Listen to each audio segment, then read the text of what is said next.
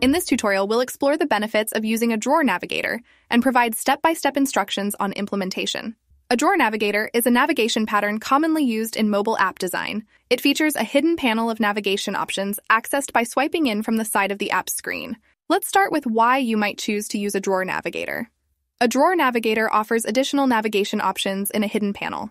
This declutters the main screen and improves the overall navigation experience by providing quick and convenient access to relevant content. By utilizing a drawer navigator, the main screen of the app remains clean and focused on the primary content. Secondary options are tucked away in the drawer, reducing visual clutter. Now that we understand the benefits, let's discuss how to implement a drawer navigator in your Thunkable app. To add a navigator to your app, click the drop down arrow at the top of your component tree. Hover over Add Navigator and select Drawer Navigator. You'll notice a Drawer Navigator is added to your component tree. To add screens to it within the component tree, drag and drop screens to nest them under the Drawer Navigator component. Let's take a quick look at the default appearance and functionality with the Thunkable Live app. Now let's check out how to customize the Drawer Navigator. Click the Drawer Navigator in the component tree to access the Navigator's Properties panel.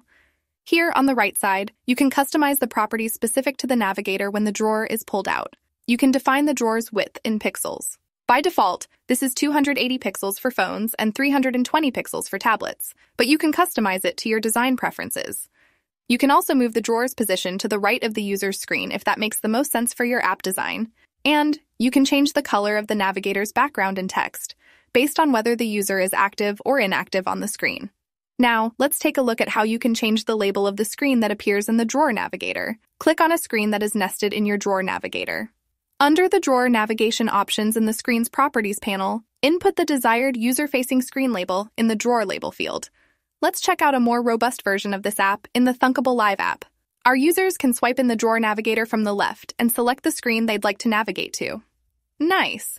You can also trigger the drawer menu by clicking a button or image.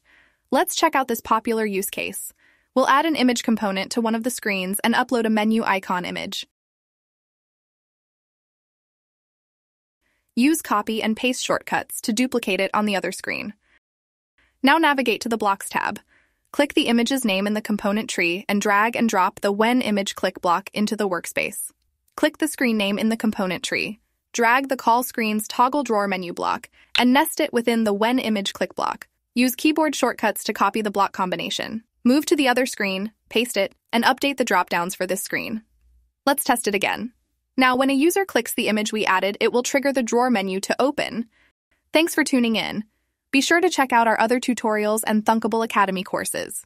And remember, innovation should have no limits.